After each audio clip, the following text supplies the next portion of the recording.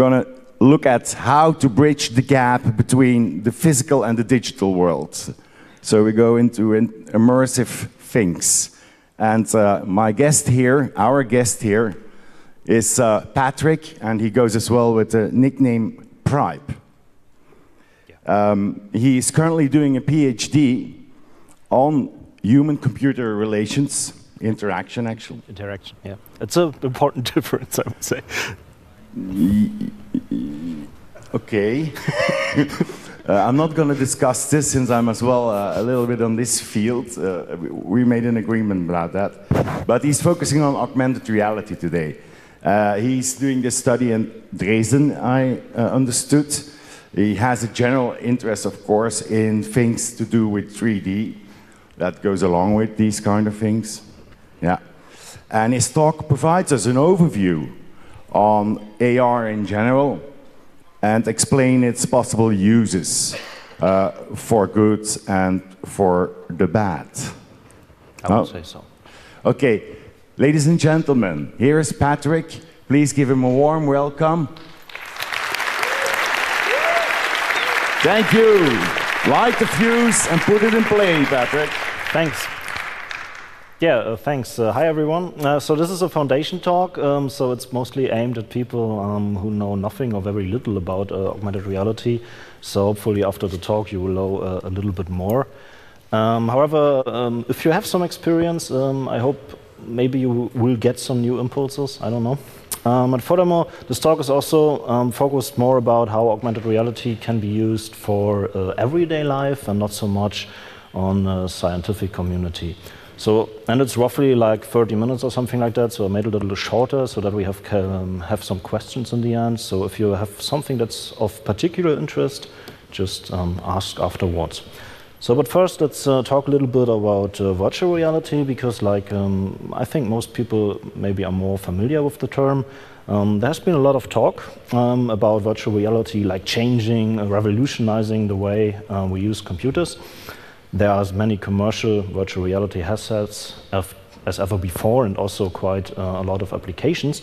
But uh, somehow VR doesn't really influence um, our everyday lives that much. And I think there's two reasons for that. The first one is that, um, that virtual reality um, applications are mostly centered on uh, entertainment right now. And the second is that it disconnects us um, pretty much from the real world. So while it might have the, the ability to, uh, to actually um, yeah, transfer us into another world, which more or less looks like this, um, at the same time we are cut up from reality. And in contrast, augmented reality expands the real world. And um, in the mind of most people right now, this looks something like that. Um, but the important thing um, is that we can still perceive our surroundings, um, and we can also experience the virtual content as well. And this particular difference um, makes AR a lot more useful for everyday use than virtual reality.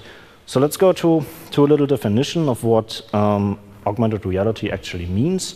So the important thing is that we combine real and virtual content, blurring the borders between both. So as you can see, Here's a virtual globe on a real table. And the application also interacts in real time. So if I move or if I uh, have some input, uh, the application um, reacts on the spot. There's no delay. And the objects um, are situated not relative to the user, but in space. So if I move around, the globe stays on the table. So this is basically um, uh, what, what I, when, when I'm talking about augmented reality, what I mean.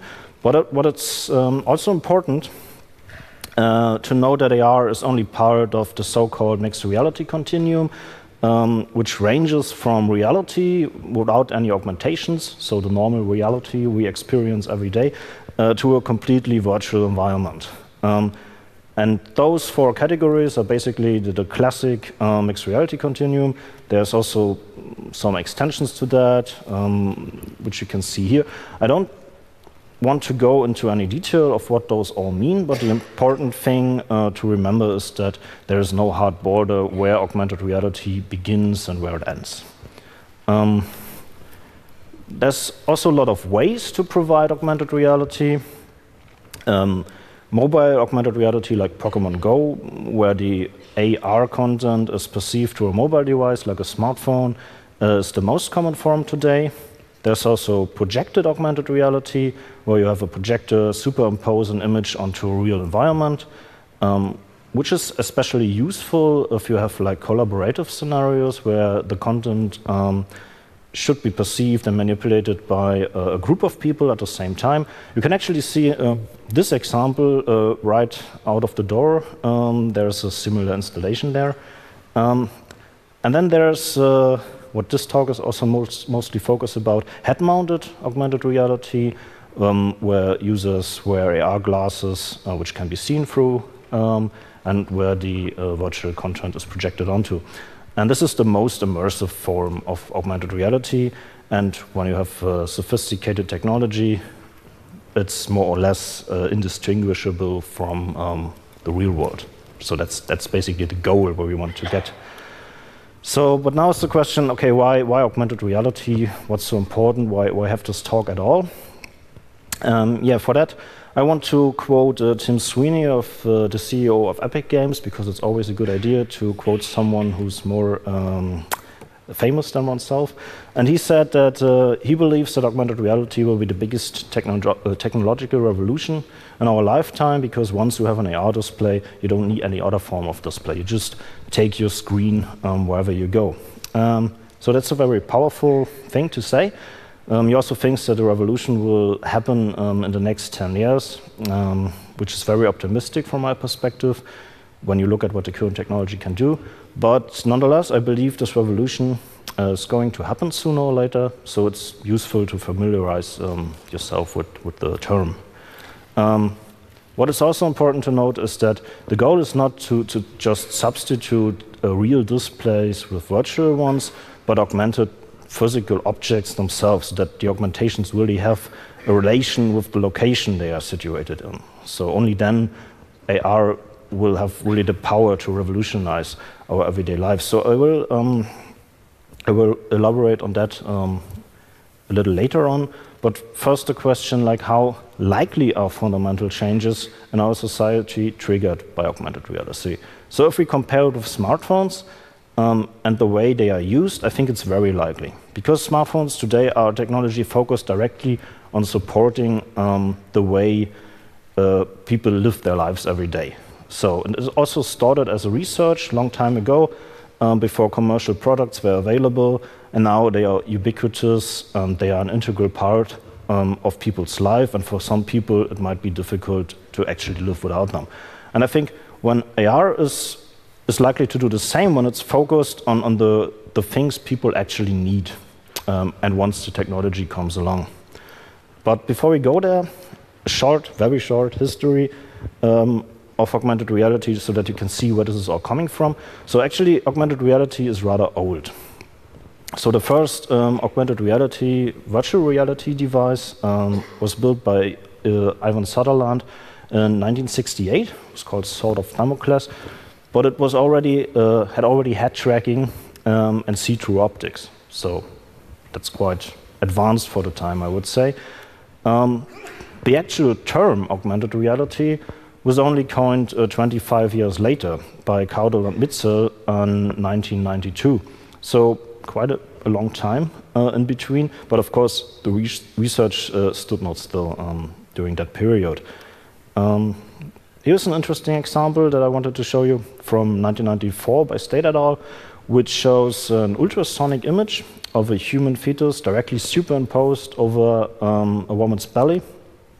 And yeah, this shows that even in a very early on that people were thinking about how we can use augmented reality to really benefit humans in a lot of ways, despite the technology at that time being very limited.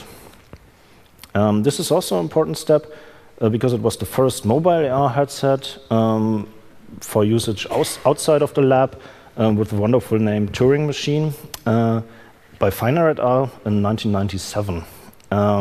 So even like early on, the question was, okay, how we, can we use this technology not only indoors, but well, how can we use it outdoors as well, which is very important. Um, and then finally, the first AR application using mobile devices, uh, in this case, PDAs for the people who still remember them, uh, with external uh, cameras. And you can see those little markers in the background, which are tracked by the cameras, and then uh, little virtual trains are um, overlaid over the wooden train tracks. So it's not really that practical, just to like a proof of concept, more or less. So, but yeah, like I said, mobile AR uh, today is the most common form of augmented reality, but maybe, maybe that might change soon because now we have like the currently uh, the, the, the, first generation of really um, commercially available augmented uh, reality headsets, um, and therefore also an increased interest um, in, from the scientific community, but also from the industry uh, for solving their various problems. So this immediately brings us to the areas of application and hopefully how augmented reality um, may influence our lives in a positive way. Um, first, a little bit uh, about the research. Uh, actually, only 12.5% of the research is actually focused on application uh, cases for augmented reality. Based, uh, the statistics are based on uh, the International Symposium on Mixed and Augmented Reality. Um, and the rest is focused on things like tracking technology, interaction, rendering, and so on. Um, and of those application cases, uh, most of them are usually industry centered and not so much on everyday life. So we have things like, for example, uh, logistics, you have um, things in the medical sectors, and of course they have um, a great indirect influence on our lives. We will still benefit from those things, but I want to focus a little bit more on, on everyday use. So how can we immediately benefit from augmented reality? And uh, explore that a little further. And that, those are things like uh, guides and cultural heritage, for example, um, and telecommunication and telepresence. Which also brings us to the first uh, use case, which is uh, AR telepresence, uh, which is more or less like video phoning, only more um, with uh, 3D avatars of the person you're speaking with uh, embedded directly into the environment. So basically, like a virtual avatar sitting on the chair next to you, um, which is, I would say, rather cool because it's um, something that, that's out of uh, science, uh, sci-fi novels or films, and but now it's here. Yeah? Now we can use it. Um, and despite being far from, from perfect, uh, it's still very incredible, um, at least from my perspective. And you can not only have um, a conversation in real size, but you can also like scale it up and down as much as you want. Like um, in the uh, lower right image, you can see that uh, the girl is uh, standing on the pedestrian um, in front of, of the guy, um, very small in size. You can actually like have people, um, virtual people, running around your table while you do other stuff while talking to them. Um, so another very classic example, um, I would say, is uh, AR navigation. This is um, a system by Google, which is a direct advancement over their um, smartphone navigation.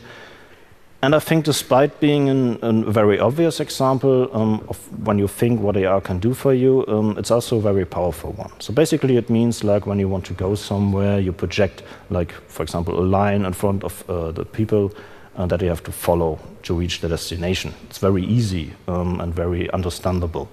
Um, currently, um, there are mostly specialized systems that uh, focus on something like airport navigation or car navigation, for example. Very few for general uh, pedestrian use, but uh, I think that's likely going to change in the future. So the next one, also um, maybe a little obvious, um, finding places of interest based on selected preferences. So yeah, example would be like where's the next post box, where's a good restaurant or bar. So this is of course possible today with smartphones as well. But the big difference is um, that you, you don't have any abstraction. So you don't have to match the map with what you're seeing. So where is this building that, that uh, it says on my smartphone? Uh, you get the information placed um, exactly at the point of interest itself. Um, so that makes it a lot of easier uh, and useful, for example. And of course, you can also show something like user reviews um, or, for example, uh, the menu of the restaurant um, so that you can find a suitable match. What's also very, very useful uh, something like uh, AR translation, um, where you like provide an instant translation of a foreign language in place. So, for example, you look at a sign in Russian and you get uh, the uh, content in English. Um, this is actually Google Translate, uh, uh which maybe some people already have used. Um, yeah, but like you would when, when you have used it, you would say, oh, well, that's really practical, for example. And when you use it with a head-mounted device, it's even more practical because you don't actually have to like point the device somewhere. You just see the text in um, the language you prefer. So, but besides uh, translation, um, you can also offer context information as well, of course, because you can not only show in this example um, the direction, but you can also show the distance to, to the object. Um, and it's also suitable for places like museums, um, where space for text is usually very limited, um, but space in AR generally is not. Um, which brings us to, to the next application case, which is uh, cultural um, heritage and tourism. Um, and this is an, a nice paper that, that gives a good example of that because uh, it, it can make history somewhat more experienceable. So when you have ruins, for example, of a Greek temple, like here, you can um, get an impression of what the temple might have looked like directly situated on the actual ruins.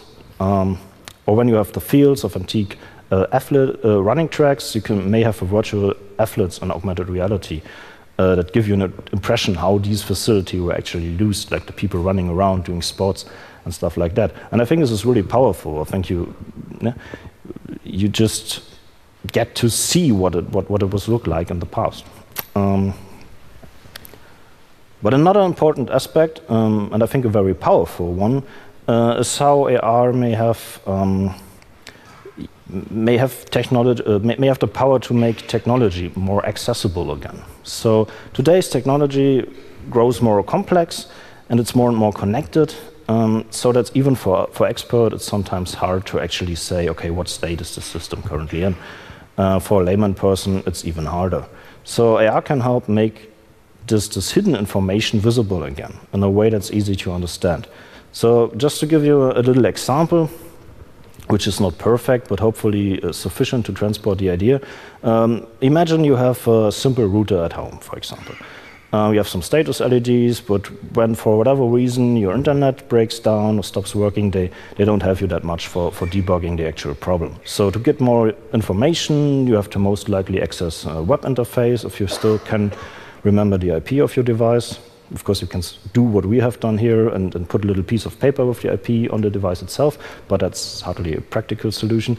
Um, yeah, so imagine with augmented reality, you can just look at the router, do a simple gesture, and then get the information you were interested in directly superimposed on the physical device itself. So, which can help you immediately recognize what the problem might be. So maybe you just forgot to turn on DHCP or something like that. Um, but we can expand that concept to uh, not only include the router, but also the wireless devices connected to it. So one of the predominant features of wireless LAN is that there is no wire, so it's hard to see which devices are connected, where they are located, and what the IP is, and so on. Um, so with AR, we can simply draw virtual connections um, to make that information easily available to the user. So I do something like this.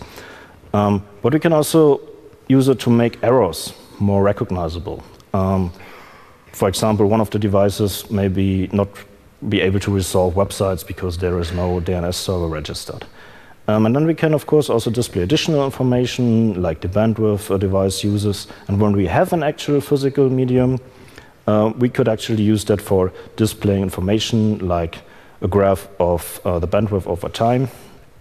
And it's very easy to understand what is displayed because it's directly located at the medium itself. Um, yeah, so I hope this, this example gives you an impression of how AR can, can really help uh, with understanding technology again.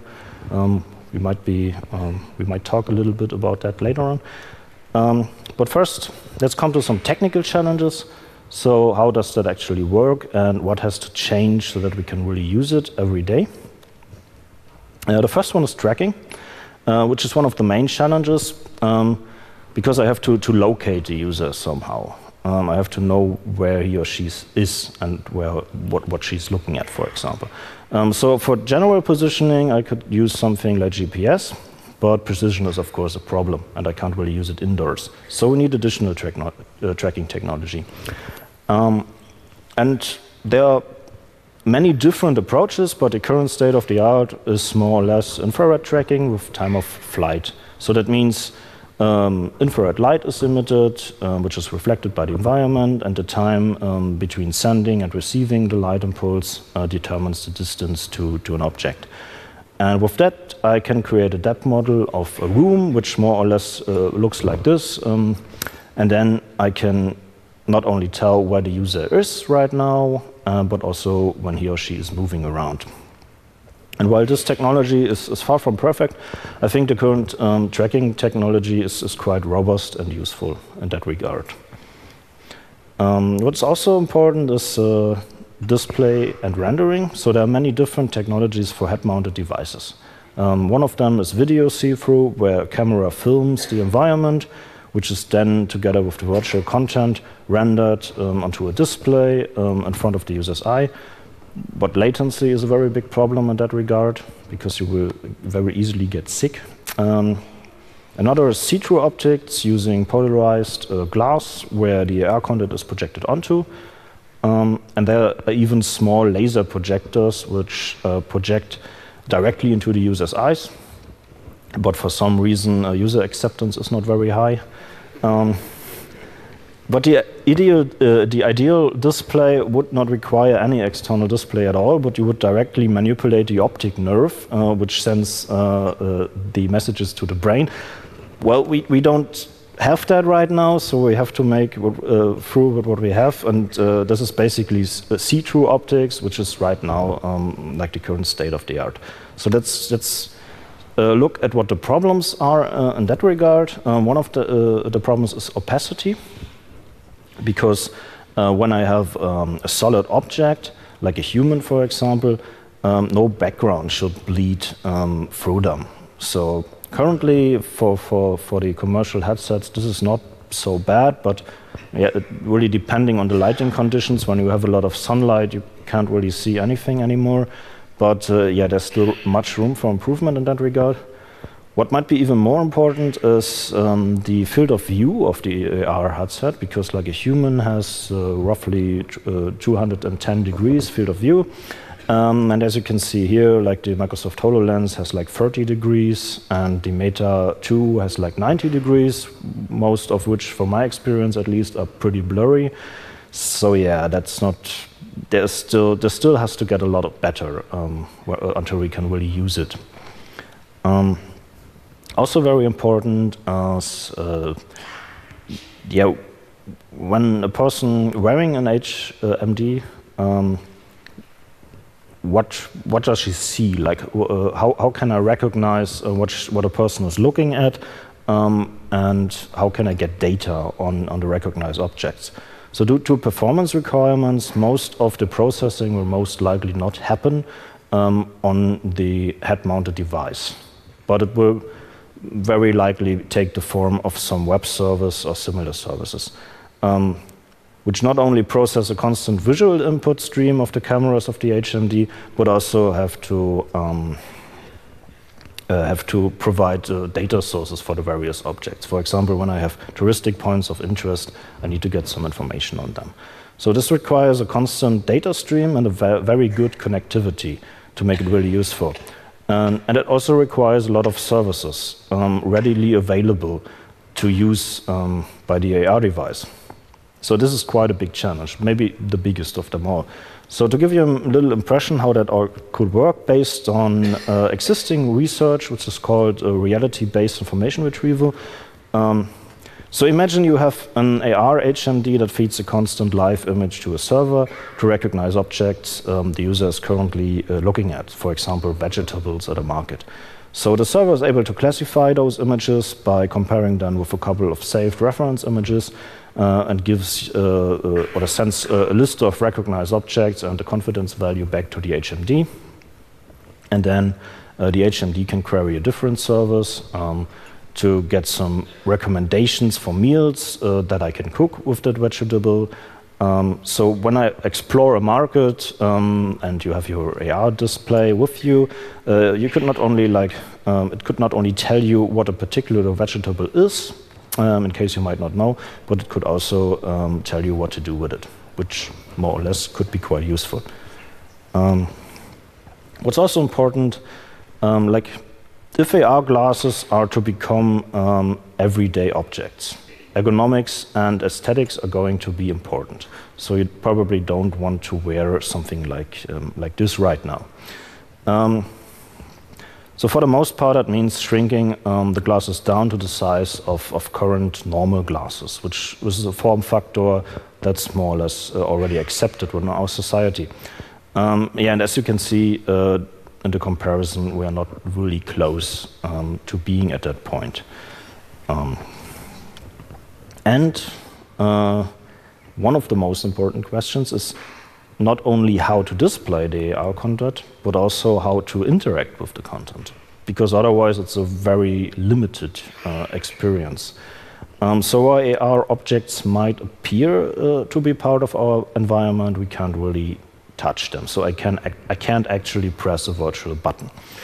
Um, and there is research concerned with providing haptics as well. For example, there is um, Ultrahaptics, which uh, uses ultrasound to create uh, resistance in midair, so that I have an actual resistance when I when I touch somewhere, but it's still um, in a very early state. So currently, mostly gesture interfaces are used, um, where my fingers are tracked and the line of sight together with the um, hand gestures uh, are used to trigger interaction. Speech, speech, input is also a common solution, but uh, use in public environments um, is limited.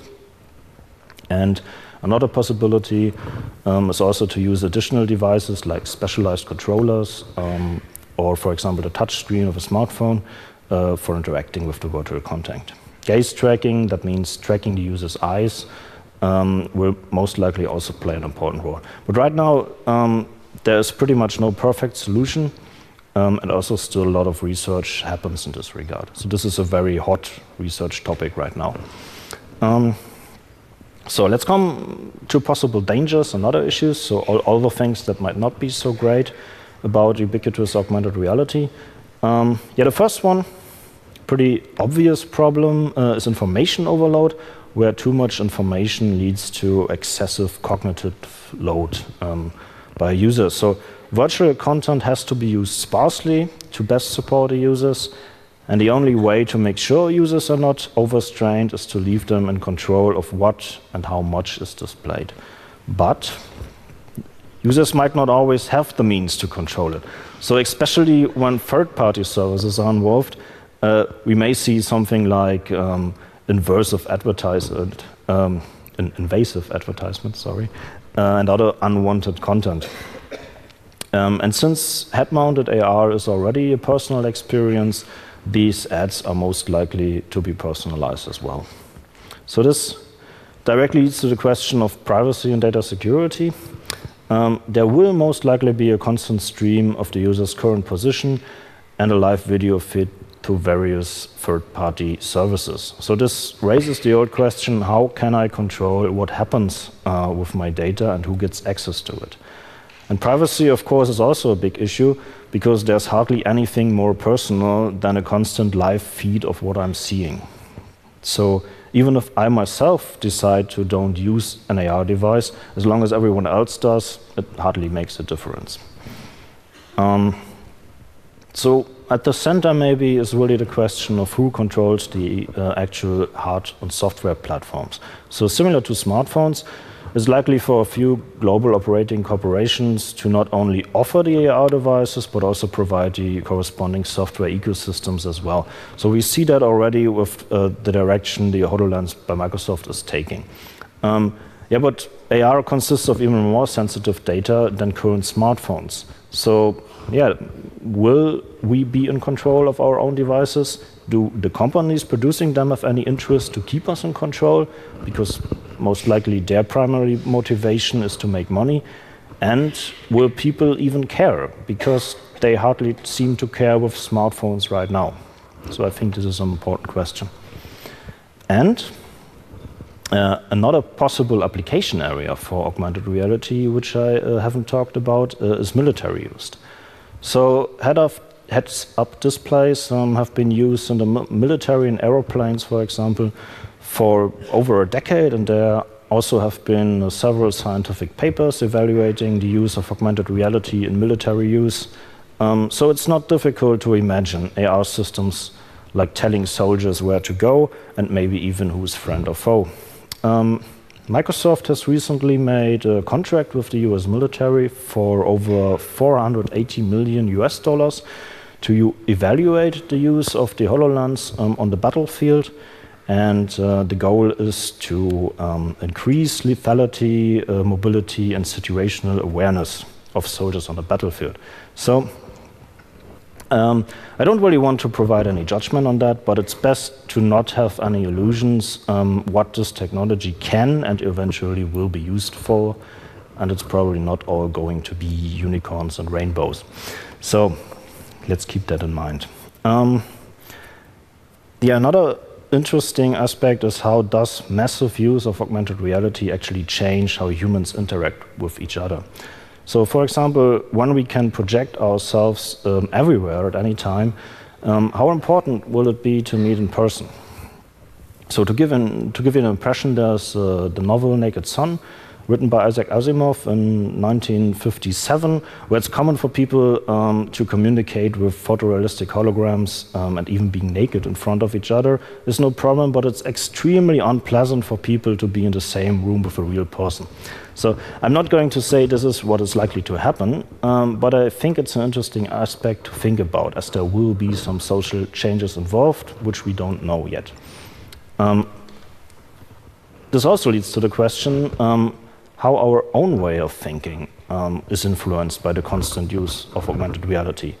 So, for example, how does our perception of locations and how locations are connected change when we are guided by AR navigation, which in the worst case means following a line until we reach our destination?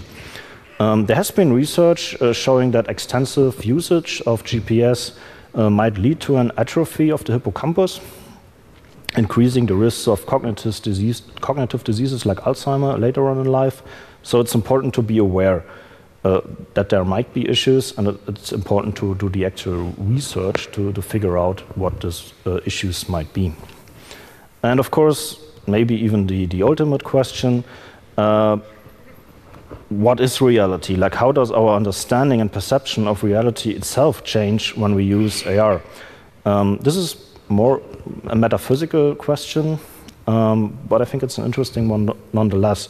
It's not so much a problem for moderate use of augmented reality, for example, to, to annotate objects, but more a question for photorealistic augmented reality, which can alter the way the world looks to each person individually. So, uh, if my world looks vastly different um, from your world, and when AR is always active, um, what does reality really mean in this regard? And what role, if any, um, does the unaugmented world um, play in the lives of people anymore?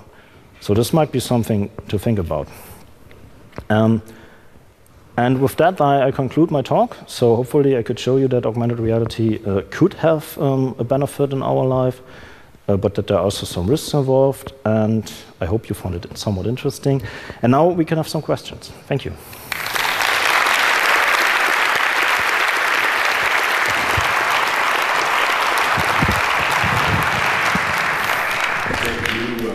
your fantastic talk. Uh, good overview of whatever is possible in here. Thanks. I see some people here queuing to uh, ask you some questions. Let's go to uh, number two here. Please, sir. Thanks for the talk. Um, the previous slide on the red and blue pill, um, can you elaborate a little bit on how you as a researcher and user of augmented reality um, eventually better understand reality? So you mean when we use augmented reality, that might lead to a little uh, to, a, to, a, better understanding of what what reality is, or or what did you mean? yes, yes, that's the question. Do you feel like you're not just using but also researching because in order to, for example, when you have the slide on how the 3D scan works, you use it as, let's say, um, a metaphor or a shortcut on how our own brain and visual system works. So how yeah. does well, like I said, it's a, rather metaphysical question, so um, it's hard to really answer the question right now. It's more like uh, you could um, guess what it might, uh, how it might change for people, what their perception of reality, um, how does that change? But I don't, I, I, can't really answer that to be honest. Like it's, it's, it's more of an open question for myself as well, because like when I think about augmented reality and, and if it eventually will be used by, by everybody every day, um, like I can think of some some um, like dystopian sci-fi scenarios where, where everyone lives in this uh, happy world, which is totally fake, um, um, and the real world basically uh, looks awful, but nobody actually noticed that because everyone is like uh, caged in, in his own own happy place, for example. So, but I don't know if that's going to happen. It's just a possible danger that, that you could think of, but. This is probably something that will not happen in the next 20 to 30 years because we, we simply don't have the technology to do that right now. So maybe that more or less answers your question, I hope. Yeah, next one. Yeah, the next one. I was thinking along as well. Uh, okay. Sorry. um, so to get widespread consumer adoption, we really need the miniaturization of the hardware. Uh, Google Glass got kind of laughed out of the room a few years ago, so we need to be better than that. Yeah, but Google Glass wasn't really augmented reality. Um, it was like more like a heads-up display because you had this tiny screen um, and, and the back of uh, like the, the right uh, upper uh, part of, of your field of vision, and um, it was like you could just display a limited amount of information there. Like when you have real augmented reality, is basically um, having the whole space to put information. Sure, uh, I mean more like it's a stupid-looking thing to walk around on your head. So we've got to look better than that when we're yeah yeah that's, that's, that's right. But that's, so. that's why I think that, that we have to go to like where, where medical glasses are right now because they are already accepted in society. So someone wearing glasses uh, doesn't get looked at in a funny way because it's pretty normal. So if augmented reality headsets look more or less the same, I think we're fine. So so the question is, what are the technological problems that we have to solve to get there in a consumer device?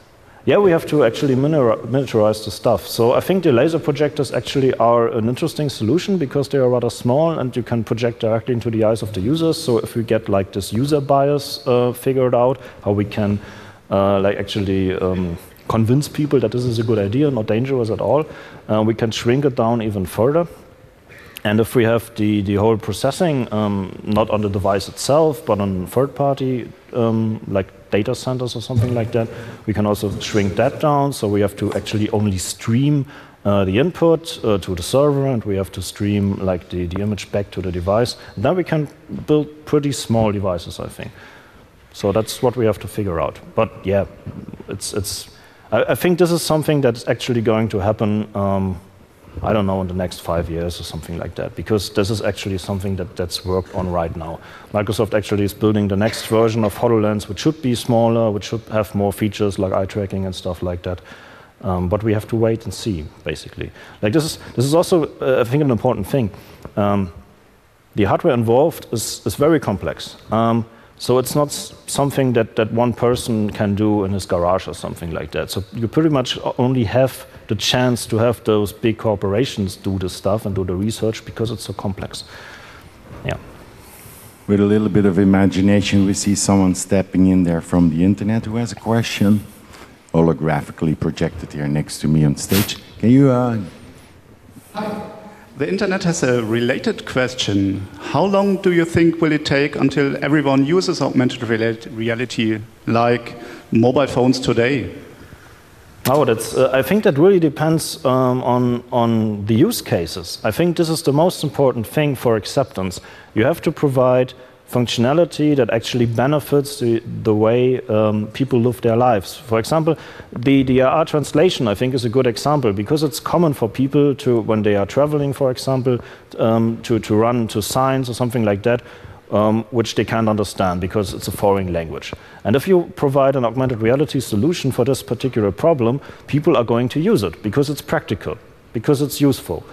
And the more functionality, it's the same with smartphones, really. The more functionality you provide um, that goes in this direction, the easier uh, the adoption will be. So, yeah, that's basically, we have to find uh, use cases which are important to people, and then the adoption will basically happen uh, itself. Mass probably will. Yeah, critical mass. Yeah. Uh, number three, please, uh, sir. Thank you. Thank you for your talk. Um, when you introduce the platforms, what is with Facebook with the Oculus Rift?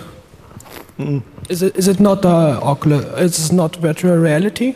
Yeah, it's virtual reality. It's not really augmented reality. Um, yeah, I, I, I was thinking about including it, but I, I, still don't have any idea where they are going with this. So they have uh, bought this company, they have uh, invested in this technology, but yeah, I don't, I don't see where they are going with this right now. What, what their goal is actually. So this is why I didn't include it. Mm, Thank you. Yeah, we will come in your direction anyhow. But number two, please. Um, first of all, thank you for the informative talk. And what do you think will change from privacy policy with when you have an active live feed of what you're seeing with the augmented reality? Yeah, I think like this may be the, the cynical way of looking at it, but I think uh, people will stop caring about that. That is what simply is going to happen. Like we, like the, the current generation is concerned with privacy, and we, we feel like um, for us, it's a, it's a, very bad idea to actually have a constant live feed of what we are seeing transmitted to somewhere on the internet. But if, like, I, I, see that with younger people who use smartphones. They don't think about privacy pretty much. They think about what this device can do for them. Um, and I think this is like more or less the social change. Uh, maybe that will happen. People will stop caring about it. This will just be a normal thing that, that your, your field of vision gets transmitted to somewhere on the internet and, and people will simply stop care. I think that is what's go, this is what's going to happen, yeah. Thank you. Okay, the next up, number two. Uh, thanks. Um, I saw uh, recently there was a company that announced some uh, some shades, and they had uh, bone conducting uh, sound transmission. So they didn't really project something into the retina, so they uh, went away uh, around uh, all the projection and all the complexity of making this huge bulky headset. Um, do you think this is a viable way to go forward? You've focused mostly on visual inputs, but maybe other sensors are better suited to making an entry into uh, augmented reality. What do you think about that? It's an interesting point. Um, yeah, I, I focus a lot on, on the visual uh, side of things, but uh, the important thing, um, I guess, with all this mixed reality and virtual reality stuff is that it's not limited to the visual. So basically, it should be a, a whole uh, sensory uh, um, experience, so all your senses are involved. So yeah, maybe that's a good idea to not only focus on the, on the visuals uh, so much, but also maybe on things like audio, like you said. Um, I don't like it's, it's really the same question with the use cases. When you when you figure out a, a, very good use case where like an audio augmentation helps people in their everyday life, I think people will start to use it. Um, but the way, the reason why I, I, focused mostly on the visual part is um, because I think it, it's the most uh, strongest sensory um, experience people usually have when they have eyesight, at least.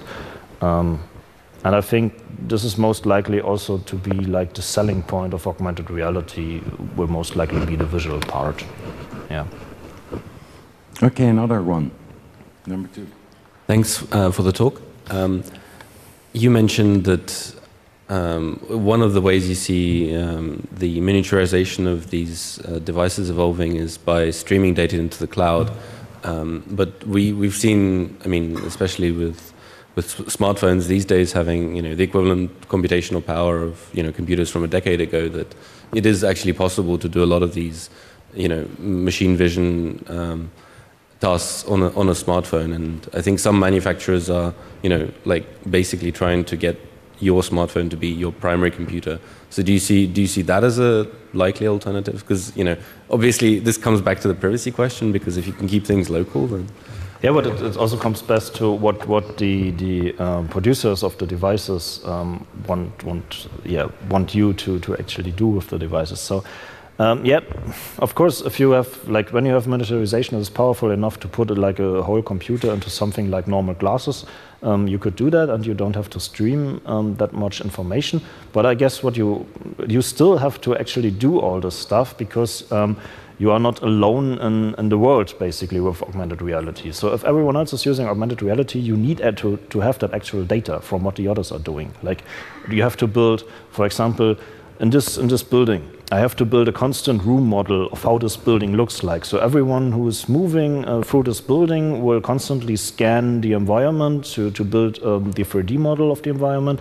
But you would uh, you have to share that information so that when I move into this building for the first time, I still have the whole environment mapped out because someone else already walked through it. So you still have to stream all that, and you still have yeah, you still have to share all those data. So I think even if you increase the processing power of the devices itself, um, this is not going to change much.